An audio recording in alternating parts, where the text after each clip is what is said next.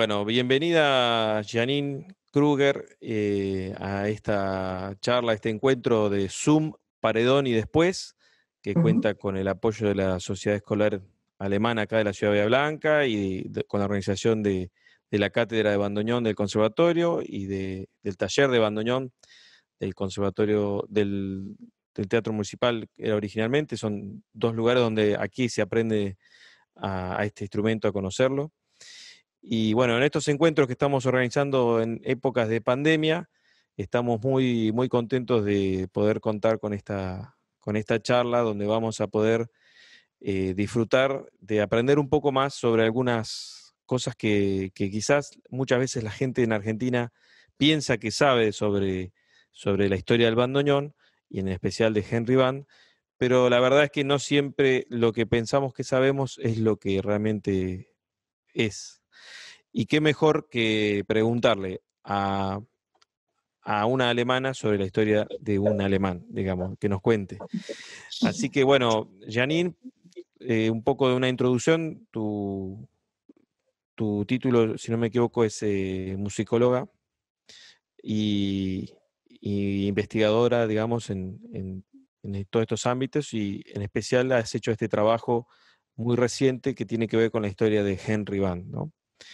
Me gustaría, antes de empezar a hablar un poco más, eh, si por ahí podés hacer una introducción sobre tus estudios, tu formación, cómo terminaste un poco vinculada con el bandoneón. Tengo entendido que hay también un bandoneonista dando vuelta en esa, relación.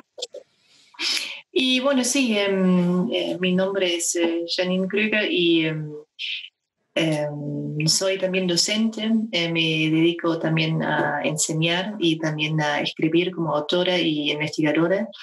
Y bueno, toda esta historia empezó ya con mis estudios en la universidad, en el conservatorio. Me formé como docente de música, pero seguí en el parte histórico.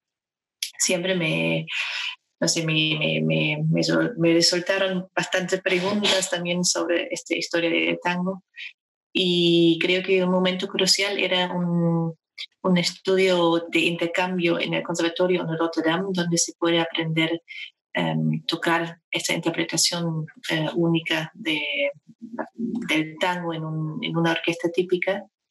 Y, pero me, después de este año me dejó varias preguntas y después mi primer estudio seguí em, en la eh, musicología histórica con una tesis sobre Astor Piazzolla y su relación con la tradición del tango em, para tipo máster, digamos. Y después de este máster seguí con un doctorado em, en la Universidad de, Hamburg, de Hamburgo, investigando un poco más sobre esta relación entre música contemporánea y esta tradición del tango. Y al final surgió esta tesis que se llama Lecturas Musicales, em, investigando varias formas de, continuar, de continuación estética, ideológica em, de esta tradición y la justificación, cómo se posicionan eh, gente en estos días con arreglos, con composiciones a esta relación, a esta tradición que, que queda entre los años, digamos, 1930 hasta 1960 y cómo se maneja este heritage. ¿Cómo se llama heritage? Herencia, digamos, ¿no? Herencia, eso. Sí, eso era mi doctorado. Y después, bueno, viendo de, Buenos Aires realmente, um, resultó que justamente el lugar donde yo enseñaba, em, ahí me, justamente me tocó Krefeld. no sé, como, como una cosa que decís, ¿cómo puede ser, no? Que ya vino con, esta, con este conocimiento sobre el tango, con este estudio y esta reflexión, y después llegó, llegué a una escuela con una compañera que era parte de esta, esta fundación de los, um, uh, del Förderverein de la ciudad de Krefeld, Em, gente de Krefeld, privados, artistas en muchos casos, em, músicos que eh, siempre querían apoyar este tema del, bandoneón, que en Krefeld mismo, que es una cosa muy rara, pero no tiene mucha, eh, mucha atención, porque el bandoneón eh, en Alemania es de la recepción está completamente diferente que en Argentina. Y justamente en Krefeld em, terminó la relación entre la familia Band y el bandoneón, más o menos terminó cuando se murió Alfred Band, el hijo de Heinrich, en 1923, 23, así que bastante... Em, temprano, casi En eh, cuando empezó, digamos... Eh, el éxito de claro, sí. Claro, la mayor producción y desarrollo del bandoneón, eh, por lo menos en, el Río de la Plata. Claro, es así. Y siguió un poco más, un par de años su hija, la nieta de Heinrich Band, pero Em, el bandoneón ya se cambió de función social, de contexto musical, así que em, la familia tenía una, una, una, visión de este instrumento que al final se transformó en otra cosa. Y por eso como más o menos desapareció, por lo menos en esta ciudad de Krefeld y había otros lugares que lo retomaron, pero esta fundación de Krefeld, como se, se puso mucha energía, obviamente en el festival, eh, que tienen cada dos años, a partir de 1985, cada año em, organizan un festival y siempre a partir del primer festival presentando el bandoneón en, todos los, en todas las formas realmente, em, no limitado al tango, siempre como instrumento em, diverso para, para, para universal, sí. Sí, de hecho, sí. Te iba a preguntar, para darnos un panorama desde la mirada argentina, que yo te comentaba, una para entender un poco la, Alemania de esa época, si, si, ya era Alemania incluso cuando estaba Henry Van, y, y si nos pudieras ayudar a ordenar un poco las ideas entre algunos personajes que aparecen y que nos han llegado a la historia, como son Alfred Arnold, la familia Arnold con los famosos AA, los Premier. Eh, por otro lado, la historia de, este señor, que es el principal, digamos, personaje de tu trabajo, que es Henry Van, al cual le hemos legado el, nombre de Bandoneón en parte, que nos vas a contar un poco de eso. Y un poco eh, también la participación de Zimmerman eh, y de este otro personaje que se llamó Carl Ullig. Sí. Digamos, esos serían como los, los grandes personajes, pero ¿cómo nos ayudarías un poco a ubicarnos en todos ellos para entender cómo funciona esa Liga de la Justicia, digamos? Dale, dale. Voy a probar eh, mostrar un poco de la geografía para ubicarnos. Yo creo que ese va, va a ayudar. Miren, eso um, es um, parte de Europa en 1850 más o menos em, un poco más adelante, em, tenemos el reino de Prusia, que es el parte dominante en esta parte, acá. Y más o menos ahí donde estoy es el lugar de Krefeld. Y solamente para ubicar más o menos, ¿no? Que estamos realmente hablando sobre esta parte. Voy a mostrar una mapa un poco más cercana esta. ¿Dónde está? Digamos que, digamos que em, Henry Van nació dentro del reino de Prusia. Sí, Krefeld es eh, parte del reino, de Prusia. Pero ahora quiero que se abra esta mapa de, bueno, que en este momento se llamó Confederación Germánica, Em, que después se transformó en el imperio alemán. Miren, tenemos esta parte de Prusia en azul, que ya ah, en este momento ocupaba mm, partes que, que, son ahora Polonia, ¿no? Por, por mm, desarrollos históricos. Em, y tenemos esta parte, el reino de Sajonia. ¿Lo miren? ¿Pueden ver? Sería todo.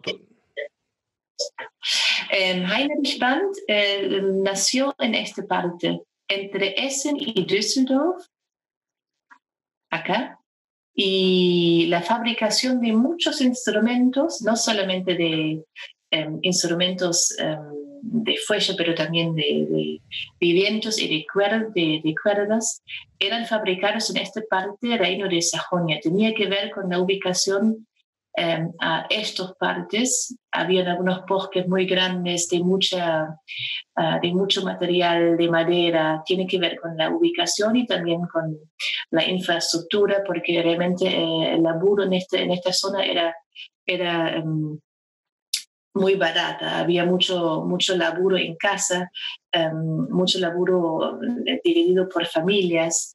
Um, y siempre en esta región eran bueno, famosos para la fabricación de, instrumentos musicales. Um, Heinrich Band, uh, ¿cómo, ¿cómo, se llama? Heinrich Band hizo, hizo pedidos a fabricantes en Sajonia. Y uno de los fabricantes más conocidos en Sajonia, por lo menos para, para estos, estos instrumentos de fuelles, era um, este señor Karl Unich que em, desarrolló un acordeón en su, en su tiempo, se llamaron acordeón, hizo anuncio para acordeones de cinco botones en cada, cada lado.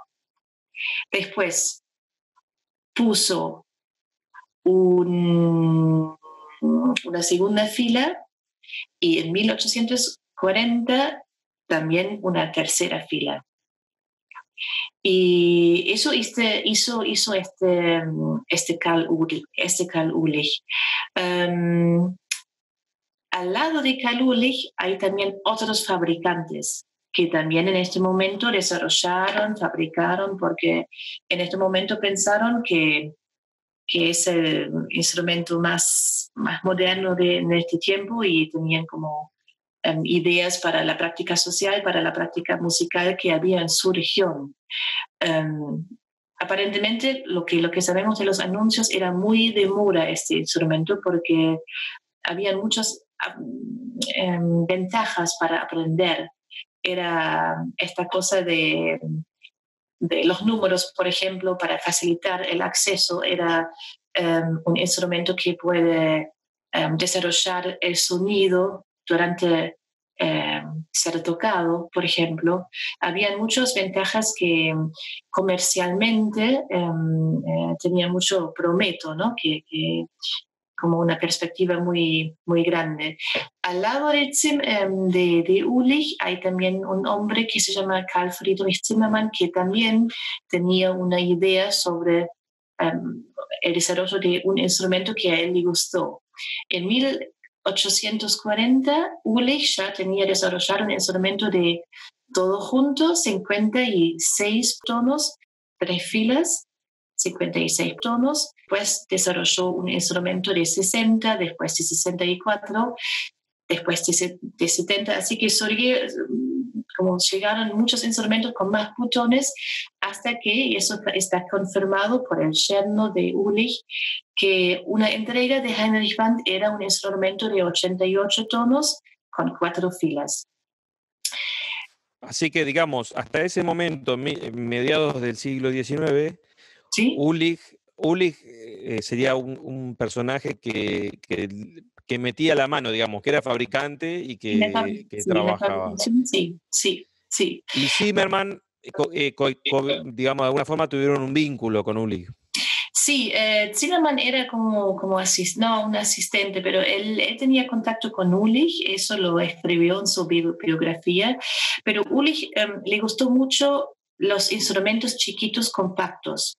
Ulich mismo no tenía mucha motivación de desarrollarles de una forma em, más grande, porque para la música que, tenía, que querían tocar, como la música folclórica de esta región, era completamente suficiente, era más para acompañar el canto, em, tocar melodías muy elementales, así que no había eh, la necesidad del desarrollo. Pero gente que pidió, em, gente que también quería desarrollar teclados que a ellos les gustaban, em, él hizo la entrega para ellos. Así que poco a poco habían gente diciendo, bueno, yo necesito, yo quiero uno, yo quiero este, yo quiero este, y él lo hizo.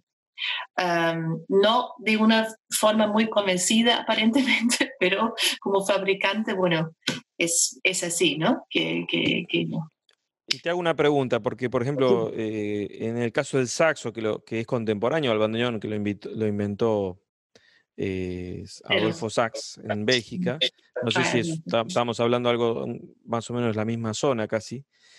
Eh, él, por ejemplo, hay, hay, testimonio que presentó ese invento en las ferias que habían de industriales en Francia, por ejemplo, o en Inglaterra.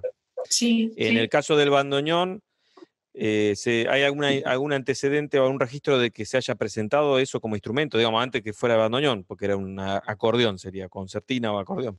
Y sí, sí, em, acordeones, como se, llamaron en este tiempo, em, se llamaron en este tiempo también en los reportajes de las eh, exposiciones industriales, también se llamaron acordeones o armónica porque en este momento no eran eh, especificados en armónica de boca o armónica de fuelle.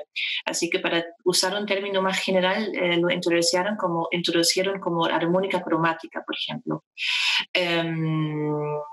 Band no Band sí mandó su em, armónica cromática en 1855 a París por ejemplo. Um, Ulich estuvo presente en exposiciones más en su región. Zimmermann, por ejemplo, em, viajó en 1851 eh, a Londres. Em, presentando sus concertinas, no, no, presentando sus armónicas.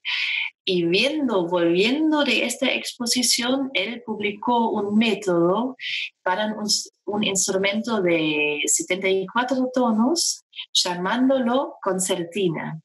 Pero realmente este, este nombre no era usado antes por, em, ni por Band, ni por Ulich, ni por Höselbart, que también era otra fabricante de, de Chemnitz.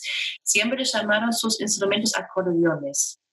Esta idea de Zimmermann de llamarlo concertina seguramente viene de Inglaterra, porque en Inglaterra primero tienen una, una, concertina inglesa, pero que es de la construcción del, mismo, del mecanismo de tocar es completamente diferente.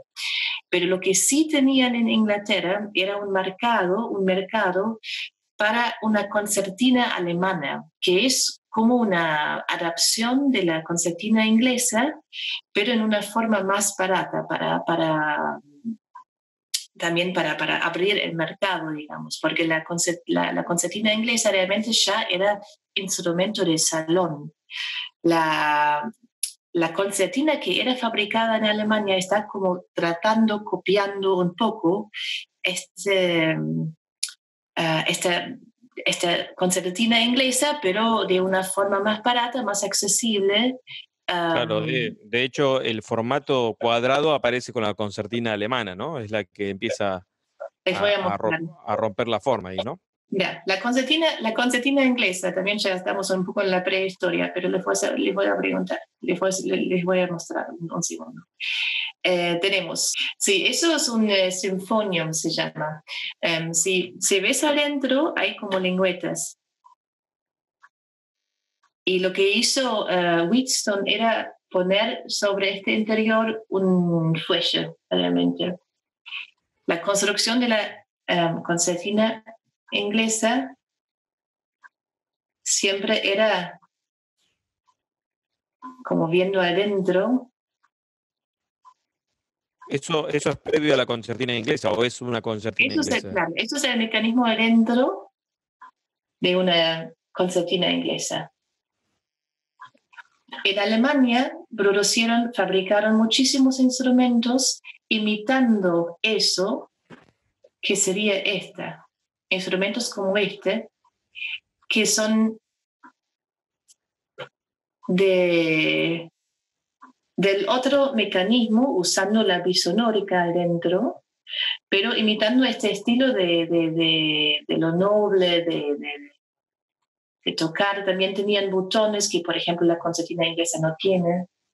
Em, pero estos instrumentos eran muy populares en Inglaterra y lo vendieron como, como concertina alemana. Pero eso no tenía que ver con el acordeón alemán.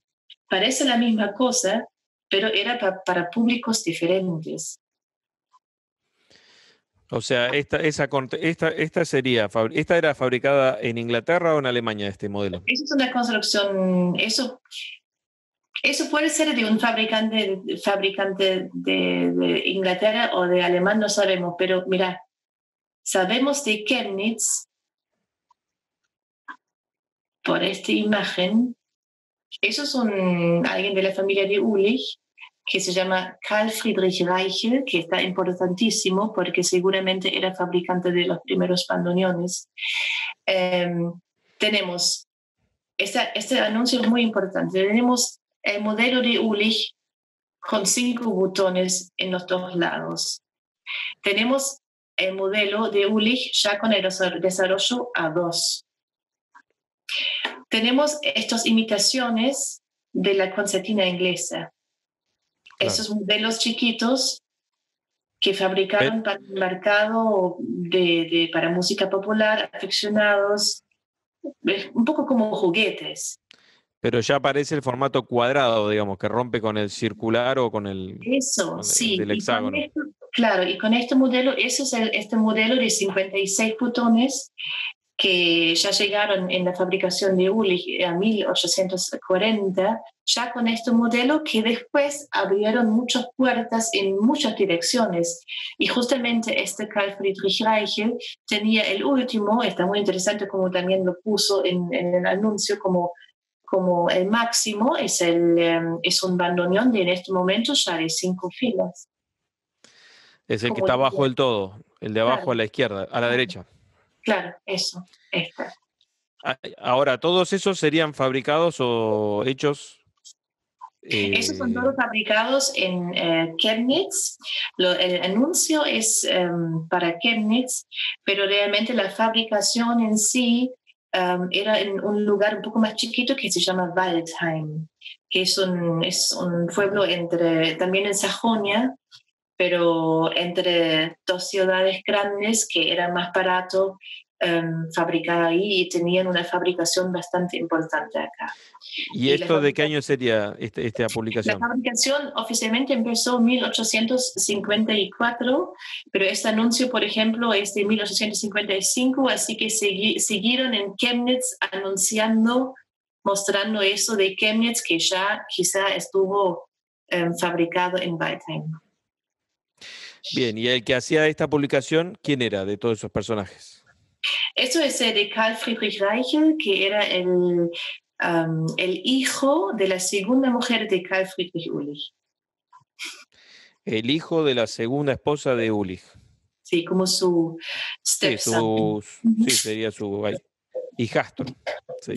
Claro, eso también confirma un poquito que Ulich mismo Em, tenía ganas de fabricar esto, estas cosas de, de, acordeones, pero siempre a él le gustó mucho el, formato, el formato compacto. Em, algunos años más, o quizá em, por, por, la, por popularizarse, pero en 1870 eh, más ahí era muy popular su concertina, eh, su concertina em, de 76 botones que se llama la Chemnitzer. Em, y eso hasta ahora está tocado en varios lugares del mundo, em, pero se quedó también con estos tres filas. La concertina, como después cuando Zimmermann introdujo este término, todos los modelos en Sajonia que, que eran acordeones grandes realmente, eran llamados concertinas. Claro. Y um, cómo se transformó el, el, el, término, pero ya podés ver que en la investigación tenés que tener mucho cuidado en qué momento, cuál instrumento tenía qué nombre. Es, es, em, y también estamos hablando sobre un mercado europeo que, em, que puede ser que una armónica en Francia en 1850 puede ser otra cosa que en Prusia, por ejemplo. Claro. Digamos que... Claro, acordeón, por ejemplo, 1855 en París, em, son estos acordeones chic con, con, con, con muchos em, ornamentos muy, muy, muy finitos. No, no son estos de Alemania, por ejemplo, desarrollándose en el teclado horizontal. Así que mm, es muy importante tener en cuenta que la terminología es bastante complejo. Sí, digamos que como para, para unificar o resumir un poco, en, términos, la palabra acordeón, la palabra concertina y la palabra armónica, eh, en, ese, en esa etapa está en una etapa de definición de identidades, digamos.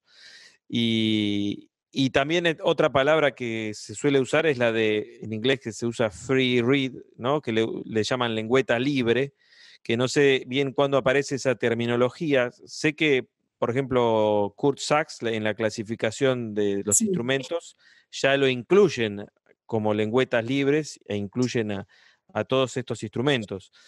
No sé en alemán cómo se dice la lengüeta libre. Eh, freischwingende Durchschlagzunge es un son bastante, un término bastante complejo. Pero, digamos, ¿se usaba, ese término se, usaba más con una cuestión técnica o fue posterior eso, digamos, el término es, de Eso solamente para la clasificación técnica, es solamente clasificar según el principio de la, um, de la fabricación del sonido, realmente. Y hay varias formas de clasificar, sí. sí. Y ahora, bueno, con esto que nos estás contando, parecería que Uli no siempre se ha llevado eh, por lo menos acá en la Argentina, el reconocimiento que, debería tener, digamos, como me parecería que fue un poco el padre de todo este, o sea, llegó a desarrollar esto a un nivel muy importante.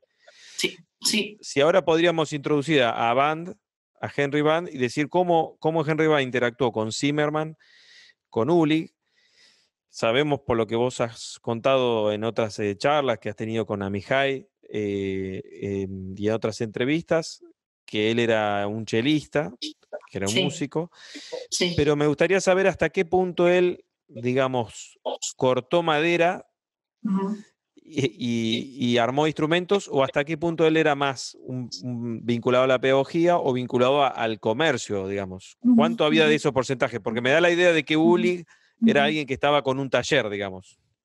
Me lo imagino. Eh, simplemente una fábrica, un taller, em, sí, eso, eh, una fábrica eh, Band seguramente no tenía, pero lo usaba este término que era también muy común en esta época, porque se estuvo desarrollando todo este, este, este complejo sistema de la producción en varios pasos. Em, no sé cómo, cómo, cómo, se llama en español, pero en alemán se llama Verlagssystem. Y sabiendo que Krefeld también es la ciudad de la seda, em, realmente funcionaba de la misma de la misma manera, tenés un fabricante y tenés varias manufacturas, submanufacturas que también... Sí, digamos, un antecedente a lo que sería el eh, la fabricación en serie como el Taylorismo o el, o el Fordismo, digamos. Claro, claro. Así que se firman, los instrumentos que están firmados eh, seguramente tienen una línea de fabricación bastante más complejo. Y em, pero lo que, lo, que, lo, que, lo que pidió, lo que hizo pedidos, también está responsable para toda esa fabricación. Y em, sabemos que de Heinrich Band, con su segundo, con su método que publicó en 1850, que él eh, presentó este teclado de cuatro filas, que introdujo la primera vez esta forma de abrir la, mano de la manera horizontal, que estoy seguro, sabiendo de su familia, los conciertos que hicieron, sus anuncios como docente, que, que tiene que ver con su idea de tocar un instrumento, tiene que ver con la ergonomía del cuerpo. Em, en un momento, esta cosa de tres filas con, la, con los acordeones del, del, del tiempo anterior, terminó esta er, ergonomía. Por eso hacer bajos de cambio, por eso hacer, no sé, em, cosas, no sé, de, de, eh, relacionado al, acorde. Pero para realmente usar un instrumento independiente de todo eso, eh, tienes que buscar una forma de usar todo tu mano. Em, y en este, en este punto veo mucho esta este actividad musical que hizo él. Él también tocó como, como chelista, eh, era docente de música, escribió métodos, escribió repertorio para aprender, pero también para tocar. Em, y sí, de una fábrica en sí, como, como para, para realmente poner su diseño en la práctica no tiene, pero seguramente tenía un taller porque también escribió una instrucción para afinar el instrumento y, en los catálogos que ofrece también ofrece este servicio de afinar los instrumentos en varias, em, en varias finaciones em, y también como hacer arreglos chiquitos. Así que seguramente em, también ser un hijo de un tejedor de seda, seguramente tenía, no sé cómo se llama, capacidad con las manos, pero no era una fabricación en serie. Quizá hizo un prototipo. Claro. Y es más el concepto de diseño, esta, esta visión para el instrumento. Que, que, Henry Van, entonces, primero empezó quizá a comprarle a Ulig claro, y vender. fascinado de ese instrumento, sí. Y tocó el instrumento y también lo difundió, digamos. Fue un, principalmente un gran difusor y, alguien que... Claro, y este, hizo este desarrollo a cuatro filas, que realmente em, después llegaron cinco o seis, siempre de su, de su cargo, digamos, que define el, teclado como lo, sabemos, como lo sabemos el bandoneón hasta hoy en día. Porque teniendo este mercado, digamos, este mercado de varias formas de acordeones, esta forma desarrollado, al final hizo lo más exitoso también.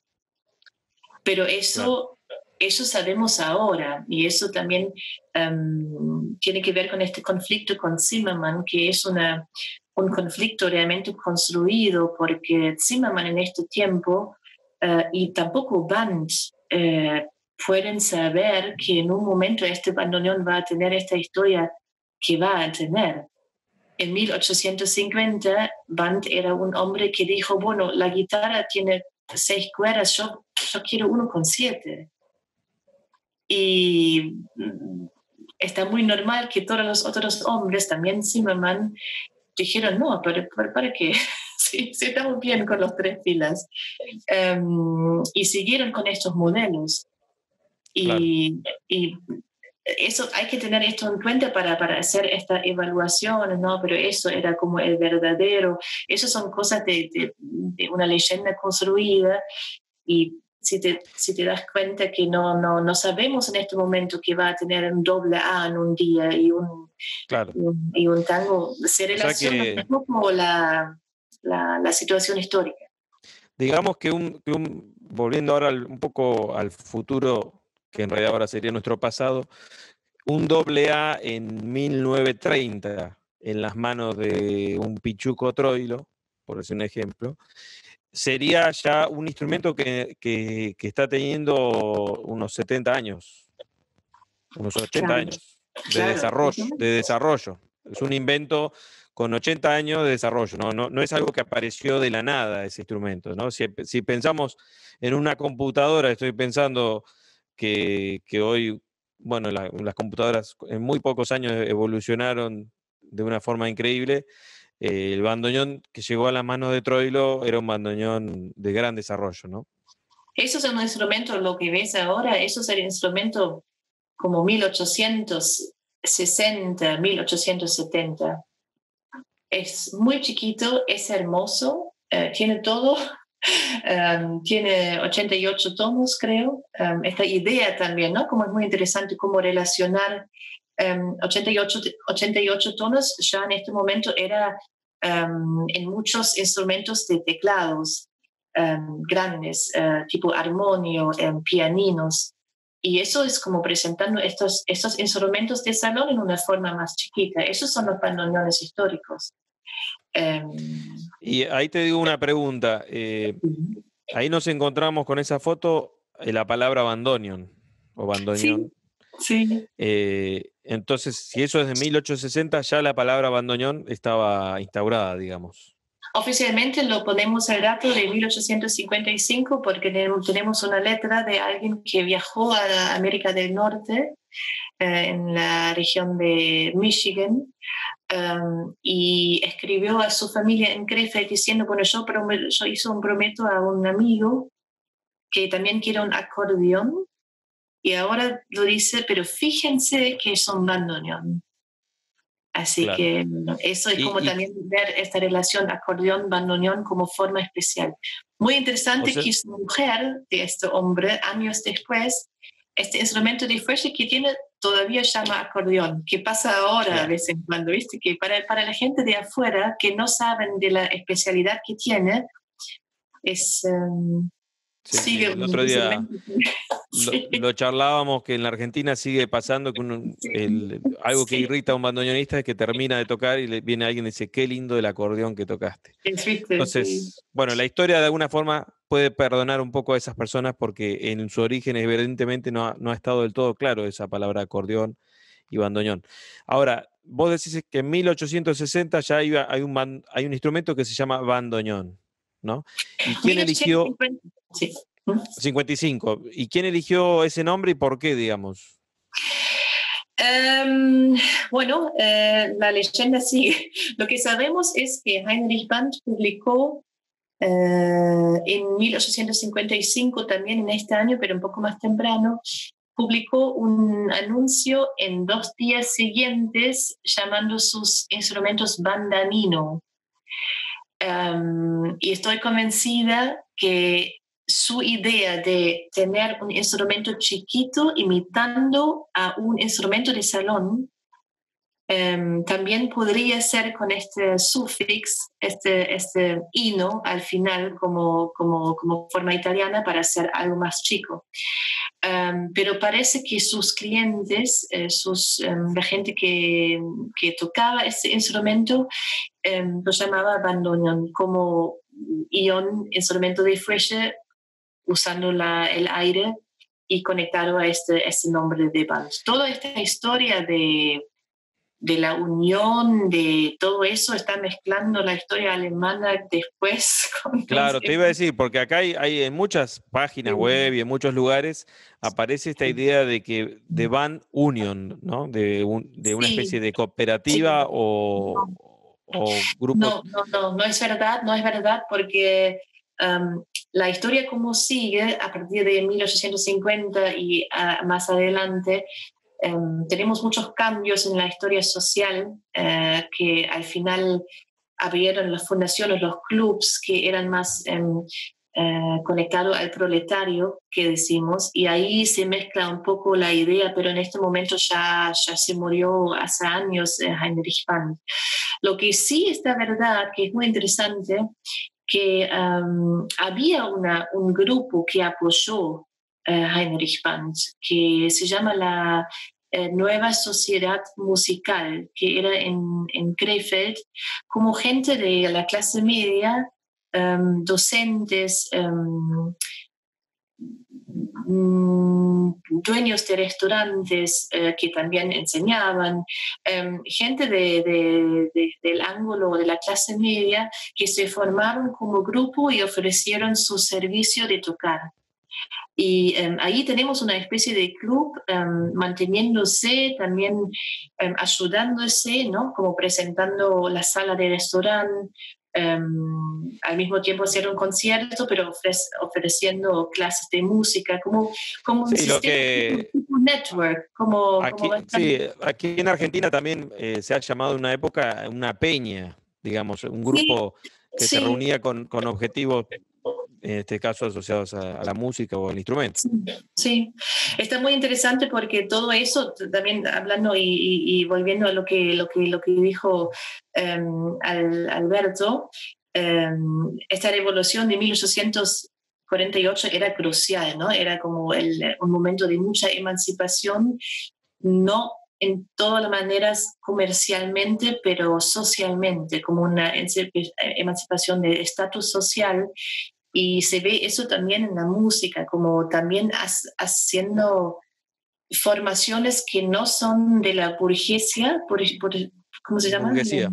Burguesía, pero como imitando estos hábitos, pero de una forma para gente que a veces no sabe tocar, pero quiere participar, tiene que, tiene que conocer música de la otra manera. Y, y este me parece muy interesante a lo que, lo que, lo que puede tener esta función popular que tenía el bandoneón en este tiempo. Digamos que fue pensado para una clase media o una clase trabajadora, ¿no? El, instrumento. Absolutamente. No, no los, no los tejedores en sí, como Krefeld está famoso para ser la, la ciudad de la, de, la seda y era en, en, el siglo XIX. Mira, tengo un boletín que te puedo... La ciudad cuya población ha aumentado con más rapidez es Krefeld, que en 1806 no contaba más que con 6.000 habitantes, cuyo número es actualmente casi 10 veces mayor. un desarrollo tremendo. Sí. ¿Eso, eso de qué publicaciones? ¿Cómo?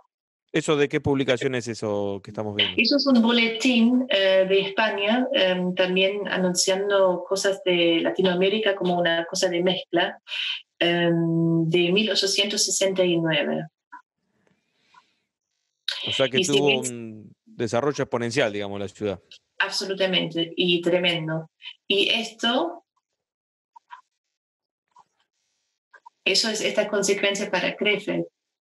Em, podés ver en la mapa em, que eso es eh, a partir, creo, de 1800, no, un poco más adelante, pero pueden ver también, ah, a veces no veo, esta parte, por ejemplo, está todo extendido por el crecimiento de la población. Era gente que, que venía para trabajar y eso era toda para el, negocio con la seda. Estas casas acá en esta parte eran de los fabricantes, un poco más rico, y después tenían que extender toda la ciudad. Todos esos, puntitos, esos puntitos en el campo son, son casas, digamos. todo casas, sí. Y eso es, eh, a ver, creo que es 1789 y después, así que en estos años que vienen lo extendieron mucho más. Solamente para tener una idea ¿no? de cómo, qué éxito, qué éxito tenía Krefeld. Así que se puede, se puede realmente um, imaginar esta necesidad de esta clase media. No, no estamos hablando sobre, eso es, eso, es una pena, pero no son los tejedores de seda, que eran muy pobres y trabajaron muchísimo, pero toda la clase de media restaurantes, em, diseños de negocios, em, contadores, eso, esta, esta clase. no vino de la clase que, para, para, para, cuales eh, la, la, educación musical era algo normal, pero lo tenían que trabajar de otra manera y para ellos era ese instrumento. Claro, y eso me te voy con otra pregunta que volviendo un poco a los mitos, o sea, nos sacamos un poco el mito de, la palabra van union con la idea de, una cooperativa, eso parecería que no fue así. También han, eh, han, dado unas fotos, eh, he visto fotos de, de bandoneonistas eh, en Alemania, de estos que también tocaban el bandoneón colgado. No sé estaría bueno saber quién fue el que incursionó quizá en la, en la forma de colgar el bandoneón y poner los dos ganchitos, si es que se sabe. Y, y también grupos de bandoneonistas, como si fueran lo que acá llamamos Argentina peñas, o donde se juntaban y, se agrupaban, y algo no sé si relacionado incluso con el ferrocarril también. No sé si hay algo de eso entre el bandoneón y el ferrocarril. Eh, si tenés algo Ok.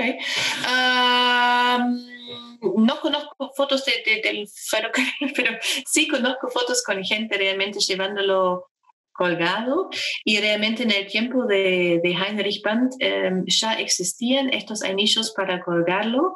Em, lo, lo habla en su método, que eso es una manera, pero también hay esta manera de apoyarlo en la, en la rodilla y en la pierna y introduce Em, las dos formas y parece que la, la, segunda tiene su preferencia. Pero em, ofrecer esta cosa de colgar em, también era una opción más para, para, para no sé, yo creo para, para, para, para, fortalecer un poco más este aspecto de ser transportable, de ser compacto, pero realmente lo que sabemos y las fotos que tengo yo son a veces una tarde en los clubs la gente saliendo eh, como, como una fiesta, no sé, como un, encuentro que se lleva en el bandoneón, pero seguramente no es su función inicial. Hay que distinguir entre eso. Es, como, es posible como la guitarra también, que realmente puedes llevar al fuego de campo, pero no es que la guitarra e, era inventado para hacer, no sé, Claro. El instrumento de camping, ¿no? De, sí. Y, lo mismo algunas fotos. sí, te da una opción más, pero um, al final ganó otra manera de, tocar. Claro. Y pensaba también otras fotos que he visto también como de orquestas de bandoneones. Sí. Muchos bandoneones. ¿Eso de qué época estamos hablando, ese, ese tipo de fotos? Eh, las fotos normalmente empiezan en 1880, cuando el bandoneón hizo su camino a las ciudades grandes, industriales, em, donde tenían club social, como, como en cada ciudad grande, es como puedes ver la cantidad de clubs sigue un poco el desarrollo industrial de Alemania y em, en muchos casos eran en, las regiones de los mineros que trabajaban abajo de la, de la, tierra y cuando subieron... Sí. Quizá la foto que yo te estoy diciendo de, ferrocarril es de mineros en realidad. Puede ser, porque, estaban en sí, sí, He visto fotos que están en un, en, se ve en un tren, pero obviamente eh, tiene que ver más con, la, con el tema de las minas. Eso, eso. Y en este, en este, en este eh, vínculo era muy, muy popular y muy querido. Hasta ahora realmente el bandoneón alemán sobrevivió en Alemania en, en, en las manos de esta gente. Y ahora este, esta industria de mineros ya no existe más. Es como que ahora son mayores estos hombres. Em, es, muy, es muy especial esta escena porque encontré como los últimos y son, claro, esta vida abajo de la tierra y, y para ellos el instrumento era como su ventil, ¿no? Como, senso, como esta, esta presión también abajo y también el peligro y lo describen muy, muy interesante como cómo se encuentran estos sonidos, su, su refugio, ¿no? Y em, es muy interesante. Es una música completamente diferente, em, la, práctica social y la, práctica musical, pero de otra forma se conecta un poco como, como se ve en el instrumento de Hecho, me quedé pensando que quizás en estos mineros que vos entrevistaste, eh, que tocaban el bandoneón, supongo, eh, muchos de ellos, los alemanes, eh, usaban, y no sé si, la, la, forma de apoyarlo desde la esquina, ¿no? Siguen, estás hablando de esas personas, ¿no? Sí, sí, ellos eh, em, lo tocan un poco diferente. También sus bandoneones son otros modelos, no son... Mucho más grandes son. Mucho más grandes, así que tiene que ver con el peso también, facilitar también el apoyo eh, adelante, realmente hace una diferencia tocándolo. Bueno, volviendo a Henry Band, Janine, em, bueno, lo que te había preguntado de Argentina, ¿hasta cuándo vivió Henry Band y cómo fue su, si llegó a tener algún vínculo con, con la fábrica de los Arnold? ¿O no llegó a ver nada de eso? ¿O si llegó a, saber algo de esto que iba a llegar a la Argentina y con el tango, digamos? Claro, eh, no tenemos relación directa eh, entre Heinrich Band y el tango. Um, tendríamos que entender que tenía su tienda, tenía su fabricación de su modelo, que no tenía protección de patente, porque la protección de patente es una cosa que se desarrolló mucho más adelante. Así que se pudo fabricar también por cualquier persona este instrumento que era popular y lo pasó.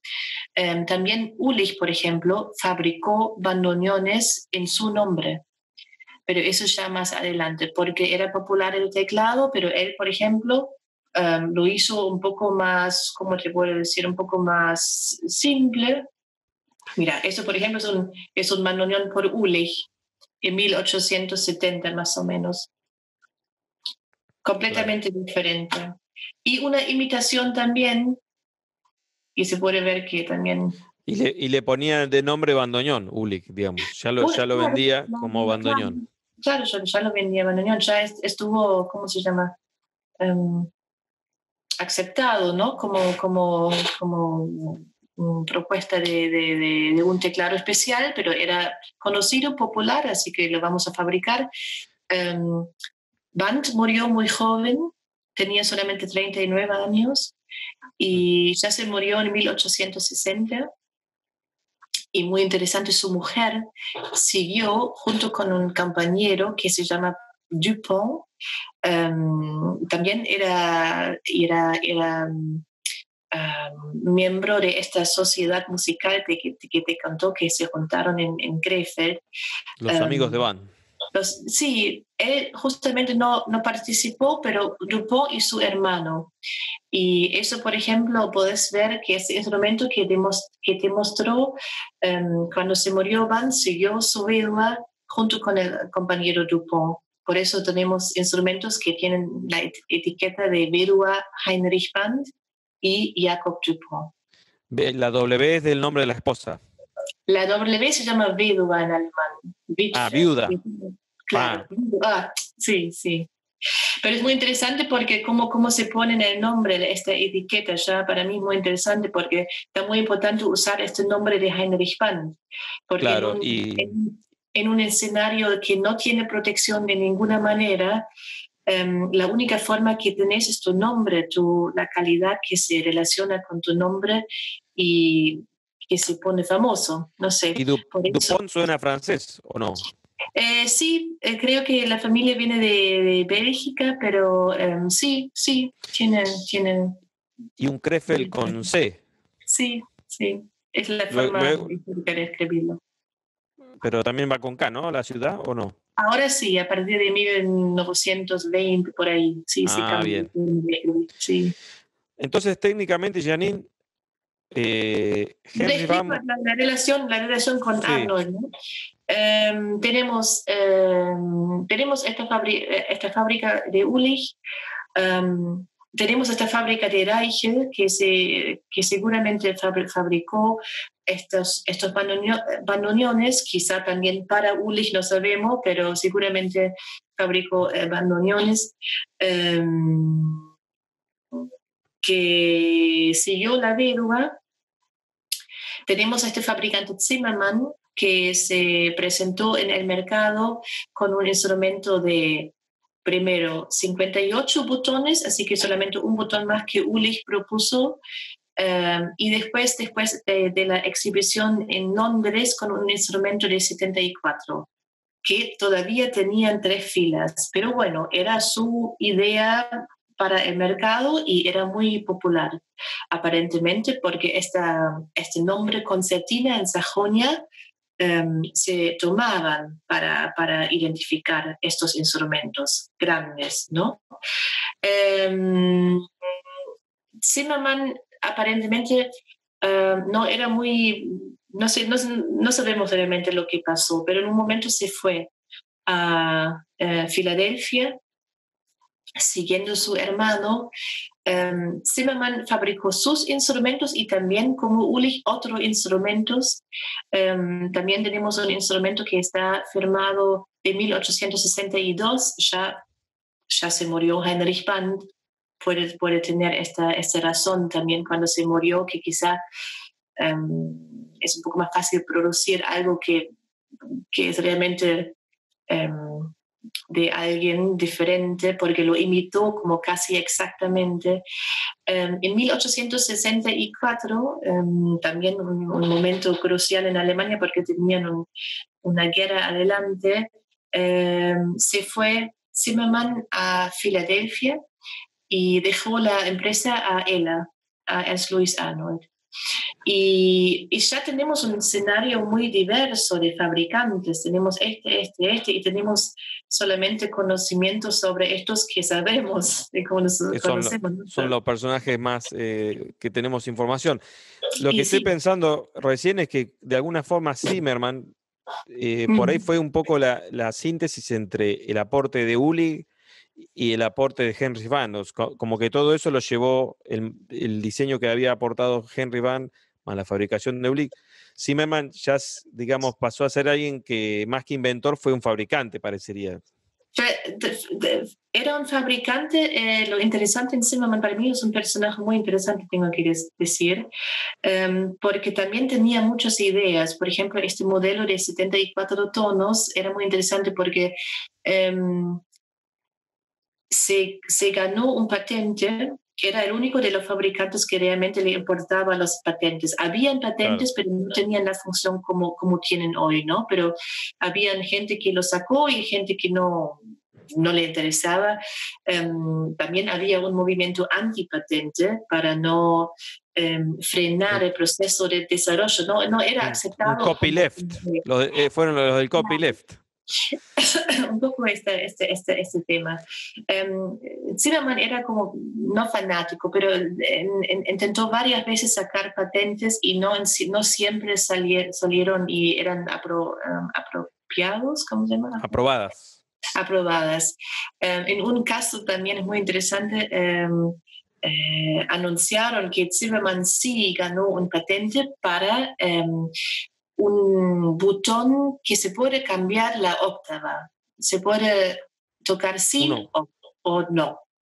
Claro. Y él no inventó este sistema de octavas, eso es muy importante saber, pero esta cosa de cambiar el mecanismo. Em, algunos meses después se, eh, anunció Ulich en la revista, en una revista, Ulich que nunca sus, anuncios sí publicó, pero nunca era muy, muy agresivo, ¿no? Pero en un anuncio dice, bueno, em, este, eh, esta octava, este, este botón de octava, em, yo, yo, ya hice varios años antes, pero em, no me pareció muy útil, algo así, o no, no era preparado el instrumento, como que diciendo, este Zimmerman sacó el patente, pero realmente la invención una especie de guerra fría de inventos de había. Sí.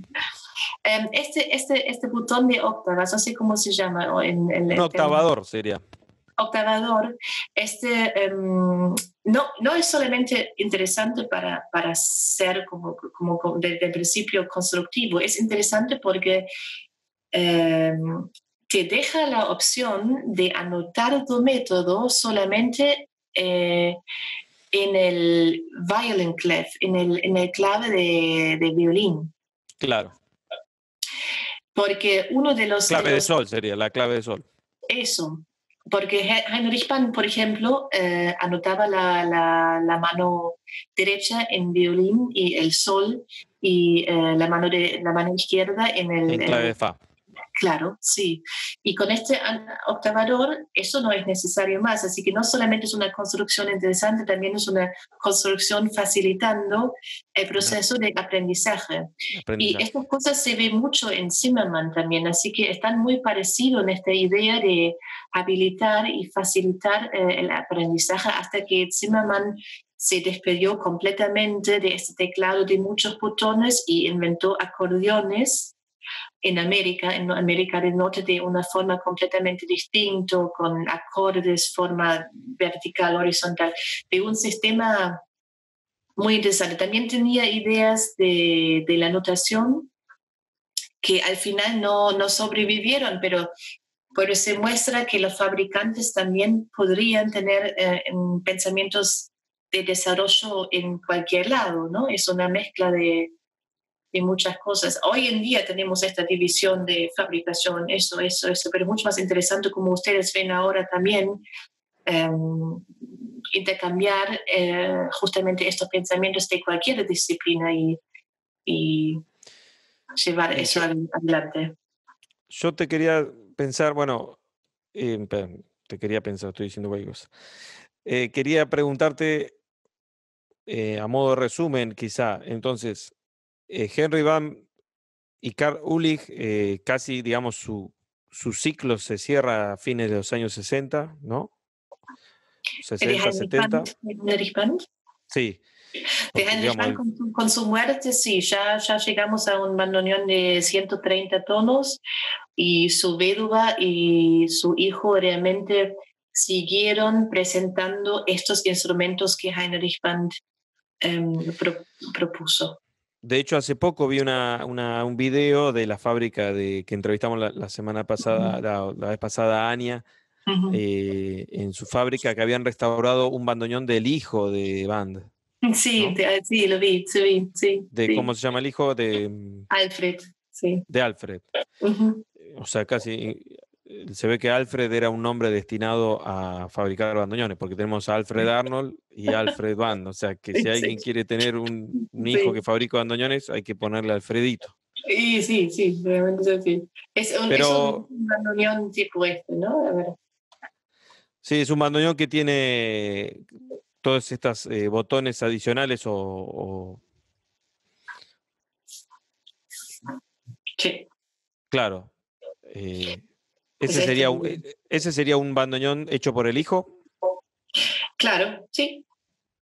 Es este Alfred Band, eso es de, alguien de su tiempo, pero quizá fabricado en el mismo lugar en Waldheim, porque quizás se dan, por supuesto se dan cuenta que la fabricación de bandoneones eh, era en los lugares donde se fabricaron muebles también.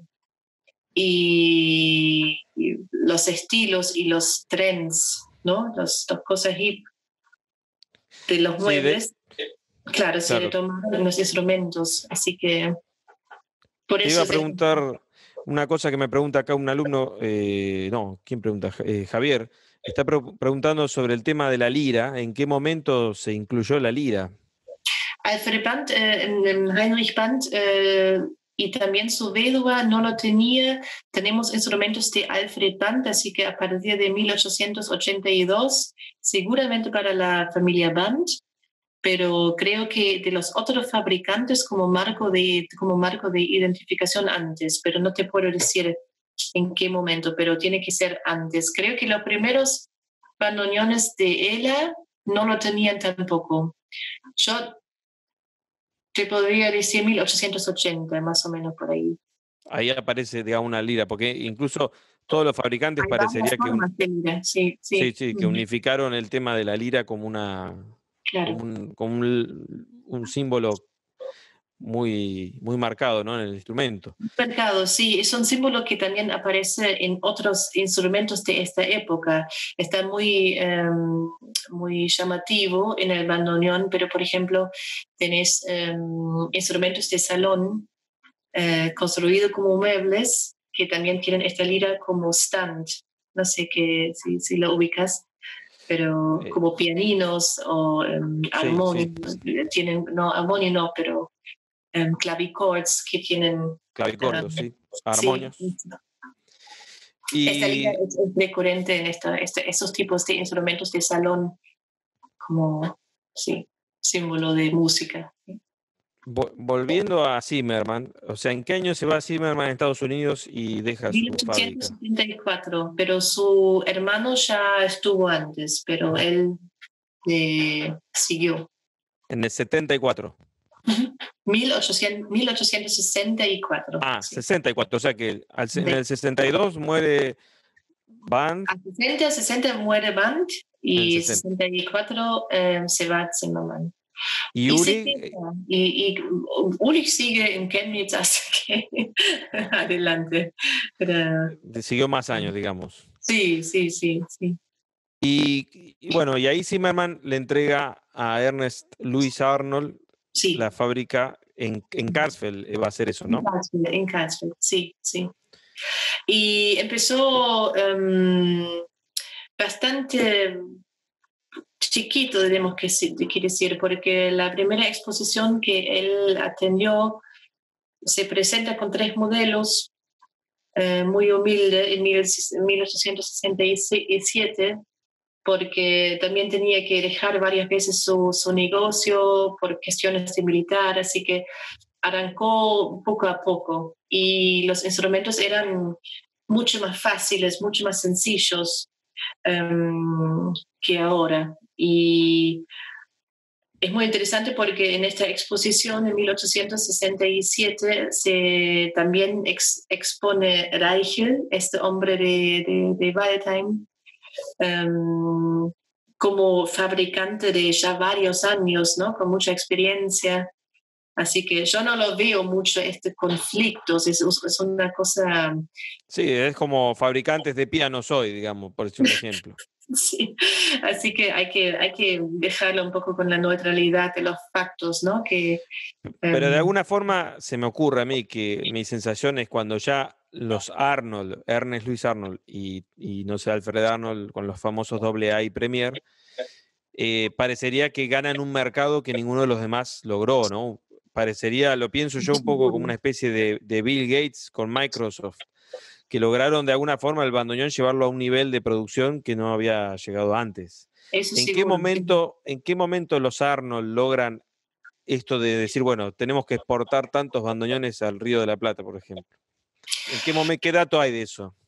Em, sabemos que estos instrumentos en cualquier momento ya eran pensados para un, mercado global. Tenemos em, documentación de 1863-64 que ya hablan que hay instrumentos que eran mandados a los estados de La Plata. Em, así que no podemos identificar de qué fabricante o de qué. Sé que eso interesa mucho a la gente, como, como focusar a esta familia, pero tenemos que pensar mucho más grande, que esos instrumentos de acordeones, que puede ser que los bandoneones eran parte de eso, em, están pensados para un mercado global.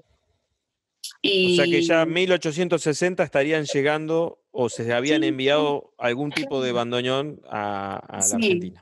Tenemos Schumacher, que es una documentación, de un, es una reportaje de un viaje de Suiza a Uruguay. Em, llegan, no, salen en 1862 y llegan en 1863 y dicen hay un viajero que se llama eh, Schumacher eh, y es nuestro bandoneonista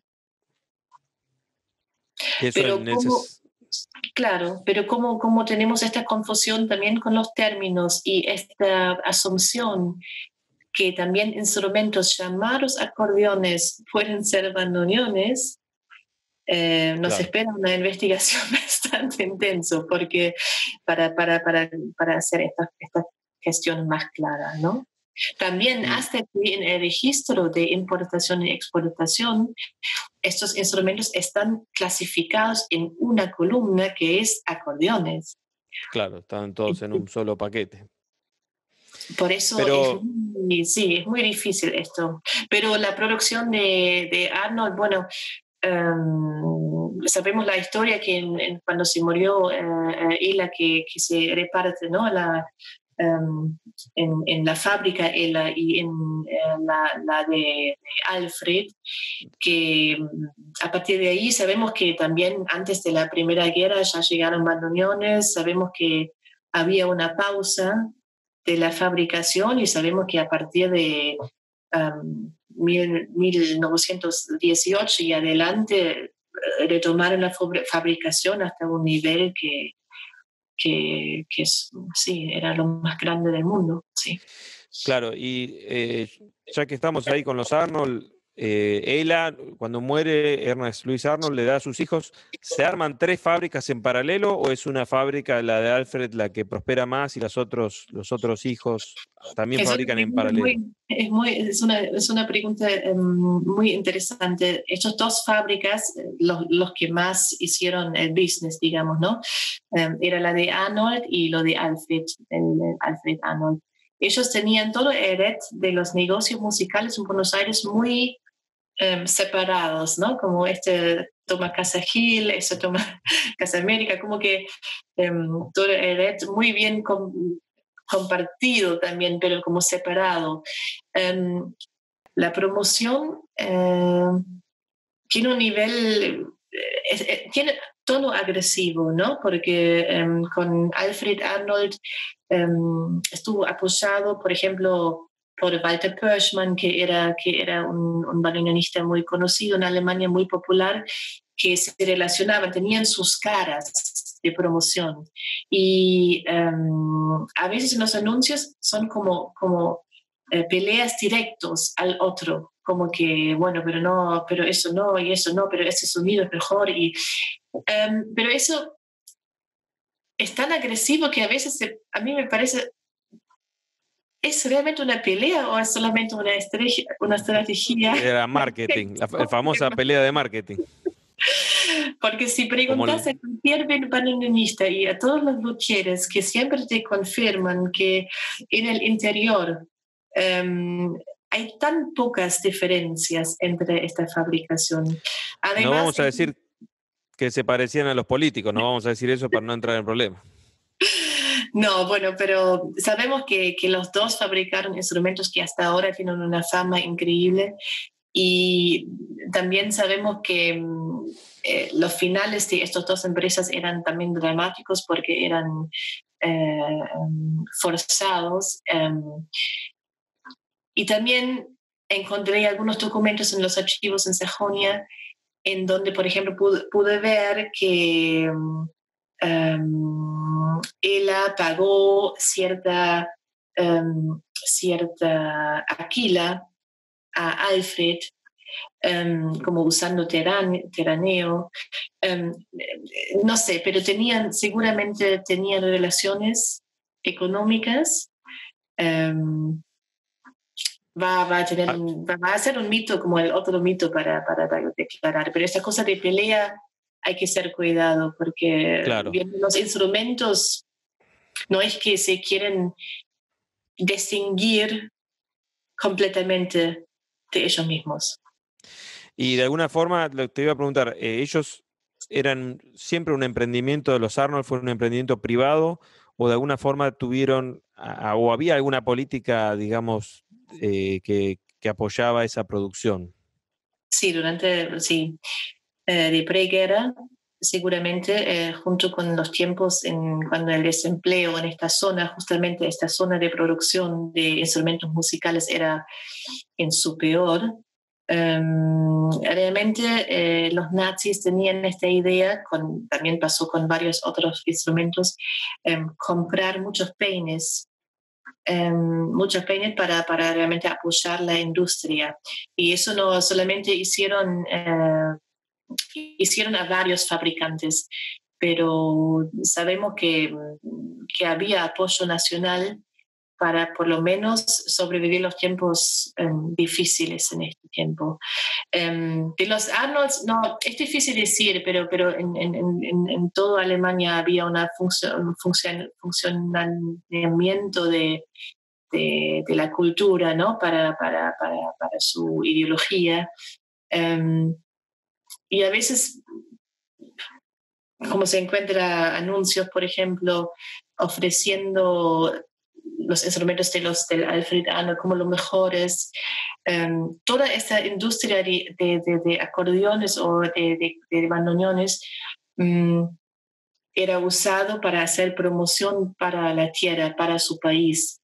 Por ejemplo, eh, querían instalar música en la escuela para forzar este evento de instrumentos, por ejemplo. Así que cada uno tenía que elegir un instrumento para hacer música.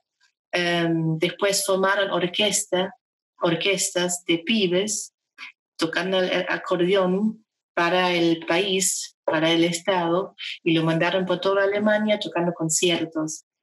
Y todas estas cosas ahora son muy amagros para, para reflexionar. Me quedé pensando en algo que decías de, de, los nazis, el, del partido nazi, que, estamos hablando la antes de la Primera Guerra Mundial. O... Eh, antes antes del, segundo. Antes de la segunda. Eh, perdón. Pero yo también había leído en algún, en algún lado, y, no sé si leí en, la, en donde está la fábrica de Karlsfeld actualmente, que hoy fabrican fuelles, pero para colectivos y cosas así en una partecita ellos mencionan algo que también... Eso es en lugar de Arno Arnold. Eso, Ese es el, del hijo de, claro, del hijo de los Arnold, que, que serían los, los famosos bandoneones posguerra, que se dicen aquí, que, son posteriores a, la, guerra, ¿no? Sí.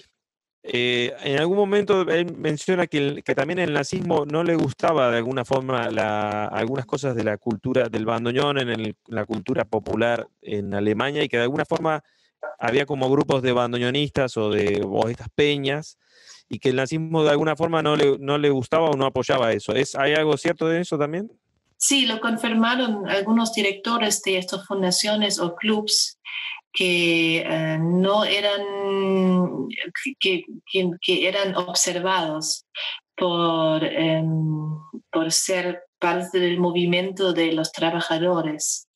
Y, em, como siempre tenían esto, como medio suspecto que quizá en estos clubes de bandoneón eh, se desarrolla, no sé, pensamientos, ideologías no conformes. Y, pero la, la historia también cuenta que eh, lo prohibieron, pero que ya por la guerra ya se fueron la gente porque tenían que estar en la guerra, así que se, no quedaba mucha gente y cuando lo prohibieron eran muy pocos. No, no había tiempo de festejar mucho en, en, un, en un, bar. Y este, este, este aspecto de no, de no empezar después de la guerra tiene que ver, tiene que ver con esta, con esta imagen que tenían estos instrumentos de fuelle instrumentalizado. Yo creo en Alemania tenemos mucho que ver con eso, porque siempre queda esta pregunta, ¿cómo puede ser que en un país está tan querido este instrumento y que en Alemania hasta ahora casi nadie sabe sobre el instrumento, solamente por el tango? Pero tenemos una historia de bandoneón misma. Sí, ahí uno de los alumnos me preguntaba algo, eh, Javier también, eh, volviendo a la historia musical, preguntaba si tenías o, recopilaste alguna grabación de, o si hay, o qué música era la que interpretaban estos mineros. Y si esos mineros, estamos hablando de estos mismos bandoneonistas que se reunían previo a la Segunda Guerra Mundial o hasta qué épocas siguieron estos, estos bandoneonistas? Eran, era, e, era música popular, era Mm, ¿cómo te puedo decir? Eran, eran, eran em, temas de películas, temas de, eh, a veces de la ópera, a veces cuando había un, una, una música clásica, pero popular, em, eh, pero canciones, em, varias cosas, pero todo cuatro por cuatro, bastante de hecho, algunas marchas, varias cosas. Eh, cosas que se puede tocar con una notación reducida, que um, sabes el ritmo porque te, te identifica, te, identifica eh, los, los, valores rítmicos, pero también solamente los números te llevan adelante porque eh, es suficiente para conocer la melodía y el resto hay que practicar común en los, hombres. Es que no había mucho ánimo de realmente estudiar el instrumento como instrumento solística. Es em, completamente diferente. Es, una, es un instrumento de, diversación, de, de, de, entrenamiento, de estar juntos, de hacer música. Em, eso. Claro. Y, de alguna forma en la Argentina eh, pasó a, cumplir un rol bastante similar. Y nada más que, bueno, cayó en las manos de los italianos, digamos. Hubo una unión de aliados entre alemanes e italianos, pero en la música, entre el bandoneón y los músicos, ¿no? Todos los, los grandes apellidos de los grandes bandoneonistas, en el 90% son italianos, ¿no? Sí, pero, pero parece que hay una diferencia entre eh, cómo, lo, cómo lo vieron y cómo, cómo lo leyeron las partituras, porque parece en Alemania no, no había mucho influencia de esta notación reducida. Em, y realmente tomaron el instrumento, también tengo una foto al frente del, del metro, eh, usaban estos editoriales, como los editoriales eh, con, los dos, con, los dos, claves, em, usando eh, los dos claves como, como lo hizo también Heinrich Mann para Em, llevar adelante esta idea de instrumento completo. Lo podemos usar como otro instrumento también. Y los PANs, y eso creo que es también una de las razones que no quizá no siguió esta historia después de Alfred, siempre se quedaron con las partituras notado en los dos claves, eh, ya que al mismo tiempo eran una línea, pero ellos no siguieron este movimiento, no siguieron... Digamos, Henry Van fue el que instituyó de alguna forma eh, la lectura que actual del bandoneón. Eh, no, eso era incluido antes, pero él lo siguió, pero eran, intentos de, transformarla atrás, digamos. Él lo puso de un nivel como, como piano. Claro. en la complejidad. Eh, la, la, la, separación de los soles, eh, de los claves, em, surgió antes, pero él lo hizo como realmente como un, como un piano, como lo de, de, a full. Em, pero el movimiento y la, el desarrollo era para tener solamente una línea y eso. Y ellos nunca lo, lo siguieron. Lo ofrecen un poco como que, bueno, sí, bueno, pero em, su repertorio que ofrecen, ofrecen en el catálogo no, no tenía reducciones. Lo hicieron en los clubs, ellos mismos copiando. Los, los Arnold alguna vez hicieron un viaje a Argentina o hay, hubo alguna conexión directa de, alguno de ellos venir a Argentina a, ver cómo era la importación o la exportación hacia... De los, de los, de los Arnolds. Sí, o de, la, de de los fabricantes. claro, sí, seguramente su, su representante, Walter Perschman, era eh, en, en, Argentina contando también en, en, las revistas alemanes Em, los Arnolds también usaron muchos argentinos, también orquestas argentinas que eran de gira, en Alemania también para presentantes de sus bandoneones. Ellos eran muy conscientes de este em, intercambio y lo usaron también para promoción. ¿Sabes qué orquesta viajó como promoción de, eso? Si hay algún dato. Eso, por ejemplo, es una orquesta de José Soler. Em, dice que es un director y compositor famoso. Em, bueno, eso, por ejemplo. ¿Y eso, eso qué año estamos hablando ahí, Chani? Eso, si, si no me equivoco, sí, acá dice 1932 de una revista. Y esto era apoyado, eh, la Orquesta Soler apoyada por, por Alfred Arnold, digamos. Sí, lo usan como, como caras de promoción em, en la revista y también hay, hay varios otros, pero eso me ocurre ahora tenerlo a mano. Todo esto previo a, la Segunda Guerra Mundial, obviamente. Pregunto si, si en alguna forma estas orquestas que iban a, Alemania generaban un interés por el tango en el sentido de que, que los alemanes querían tocar tango o no. ¿O no había algo de eso? Y sí, sí, querían. Y mm, en este, en este sentido, era muy interesante lo que hizo Pershman. Era un bandoneonista muy famoso en Alemania, quizá lo más grande, y viene de Argentina y hace, y hace sí, hace un, un arreglo de hasta pronto, dice, hasta la vista, como algo muy estereotípico. Y lo pone como los editoriales, pero está copiando como siempre pasa con el, eh, con el tango argentino, que repiten em, patrones de acompañamiento dos mil veces, siempre en la misma forma, que nunca pasa en el tango argentino. Pero, pero, es como... El famoso tango, el tango que aparece en los teclados eh, de japoneses.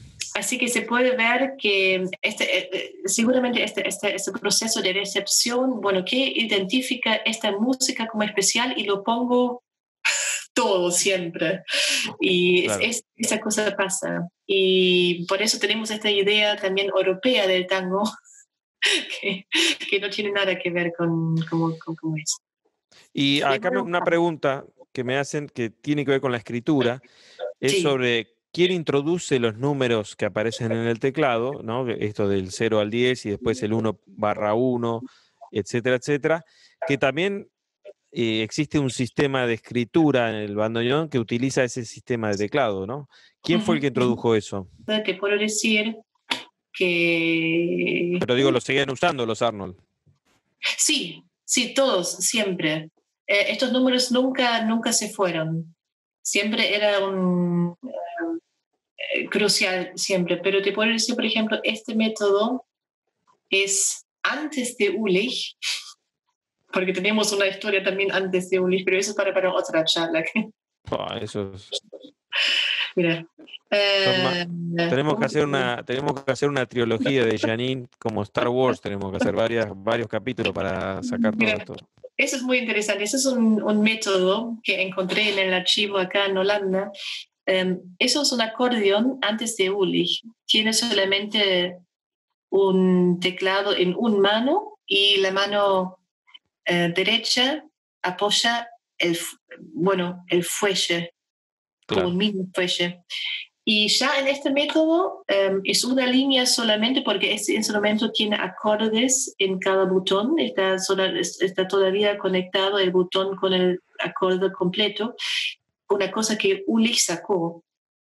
Em, pero ya en esta forma de acordeón muy histórica, muy temprano, ya tenemos los números. Y estamos mm. hablando de 1833. ¿Y el número, del número que es? ¿Del 0 al 10, del 0 al 5? De 1 a 5. Del 1 al 5. 5 y el 0 era entregada un poco más tarde, sí.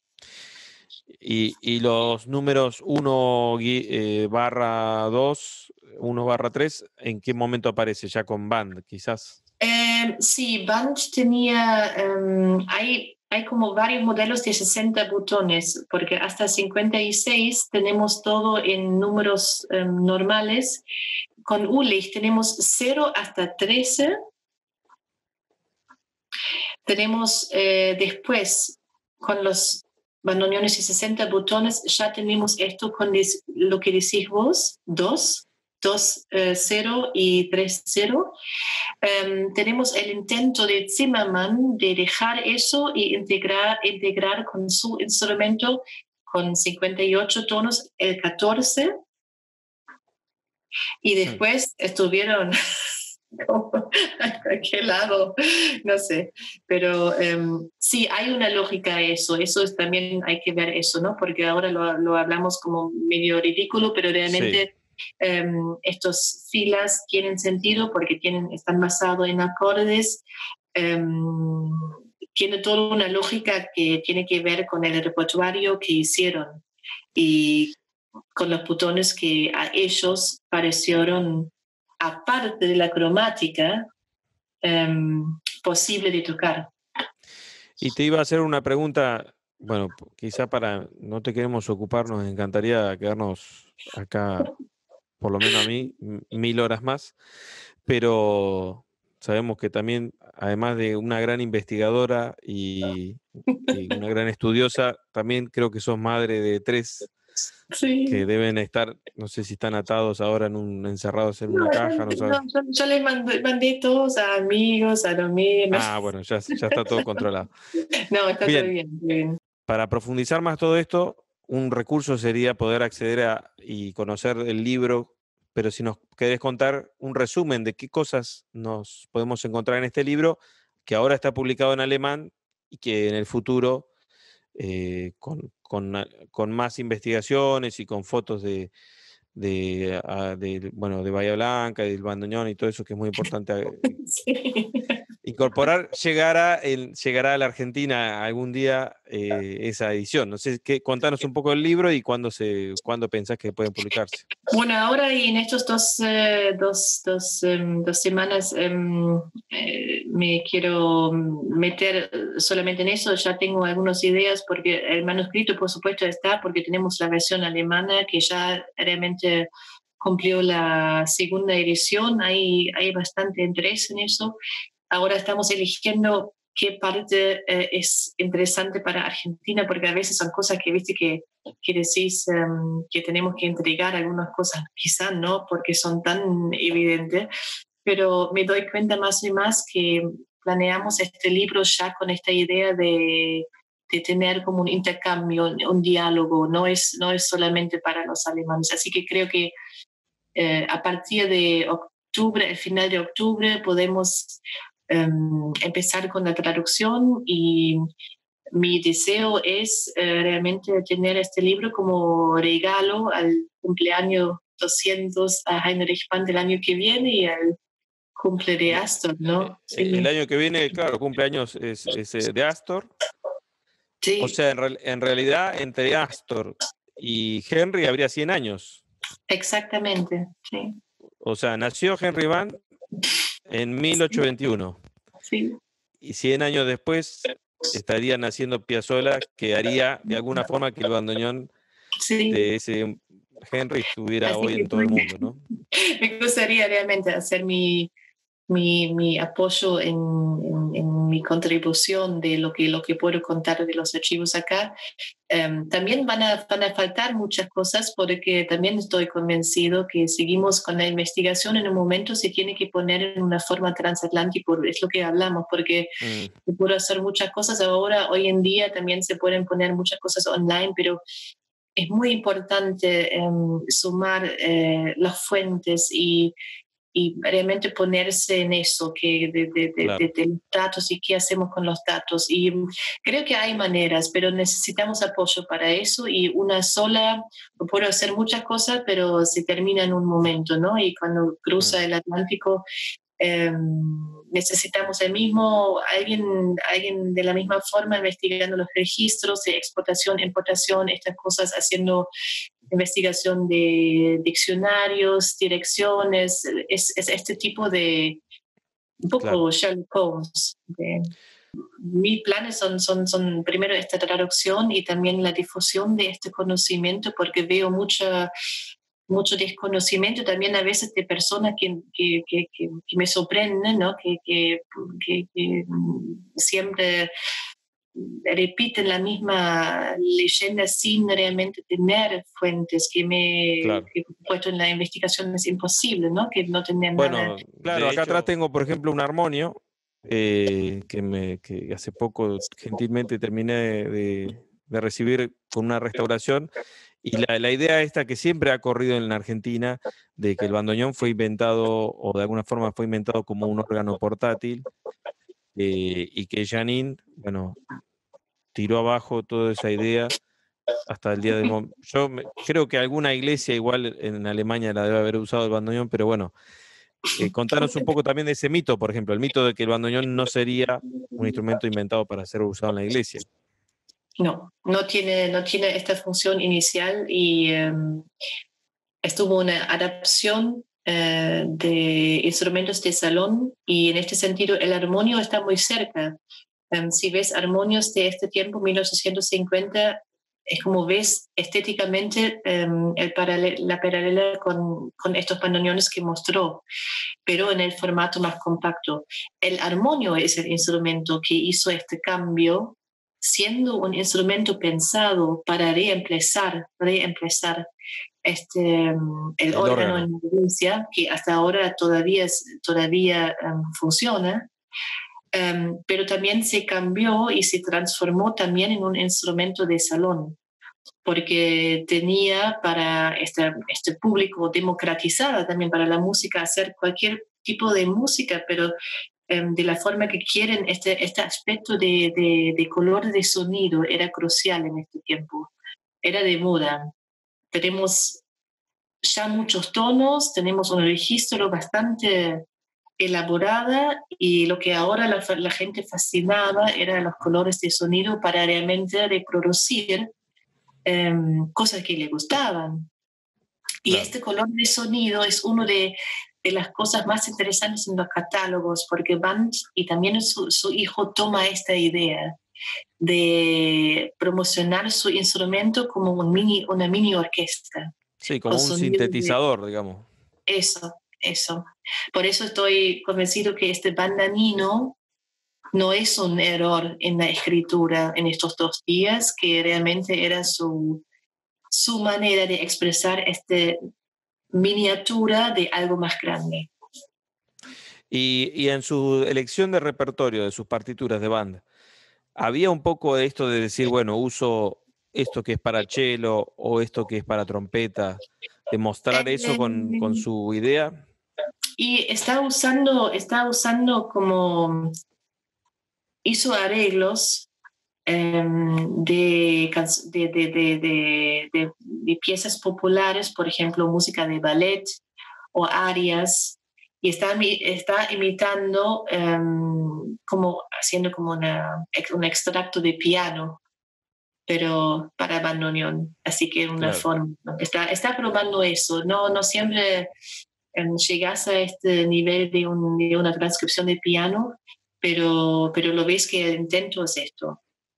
Sí, también había leído en algún lado que algunos compositores de fines del siglo XIX, compositores clásicos, había algunas incursiones de, meter el bandoneón, o habían algunos utilizado eso. Similar a, como pasa con el saxo, ¿no? Que por ejemplo. Sí, ah, saxo... sí, sí, sí, de, cosas de baile, y, pero eso ya es siglo XX, no sé, no, no, sé, no estoy segura de 19, porque el bandoneón y todos los instrumentos de fuerzas eran em, bastante em, evitados en las enciclopedias hasta que lo hablan muy mal, lo hablan como, como em, instrumentos no, no, nobles, no eh, demasiado popular.